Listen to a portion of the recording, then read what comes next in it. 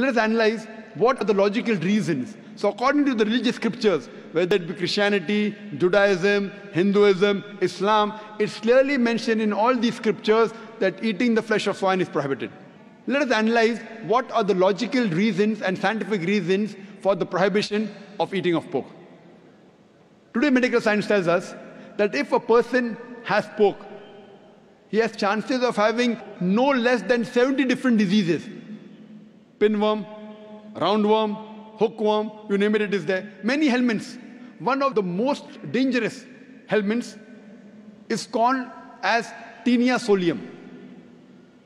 Taenia solium, in layman's terminology, it is tapeworm. And it harbors in the intestine. It's very long. And the eggs, the ova, via the bloodstream can enter different organs of the body. If it goes to the brain, it can cause memory loss.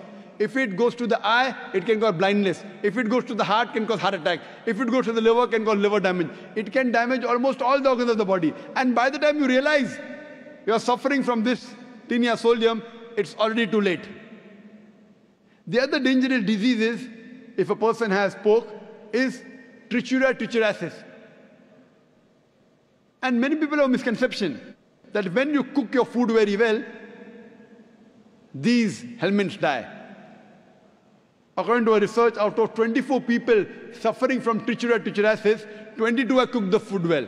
That means the food that you cook in your house, the normal temperature you reach cannot kill the germs and bacteria and the ova that are there in the pork.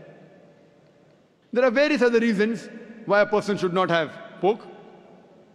Today, science tells us that eating pork has got fat building material. It has very little muscle building material. Because of the fat building material, person has high chances of having hypertension, atherosclerosis, heart attacks. That is the reason more than 50% of the Americans, they suffer from hypertension because most of them are pig eaters. Today we know that one of the most filthiest animals on the face of the earth is the pig. Wherever you find feces, muck, filth, you'll find the pig there. It is the most dirtiest animal. Some people say, in certain countries like Australia, I know, they breed the pig very well, you know, very hygienic. I tell them, even in Australia, in the sty, the pigs are kept together. You know, the pig, when it excretes, it eats its own excreta. So do you have man 24 hours manning wherever he excretes, he picks up the excreta? No. So even in Australia, the pig is dirty. It's one of the most filthiest animals. And one more reason I can think of besides many is that today science tells us pig is the most shameless animal on the face of the earth. It is the only animal that invites its friends to see when it's having sex with its mate. When the pig is having sex with its mate, it invites its friends to see him having sex with the maid. You know, in America, modern society, they have dance parties. After the dance parties, they are swapping of wives. You sleep with my wife, I sleep with your wife. You eat pigs, you behave like pigs.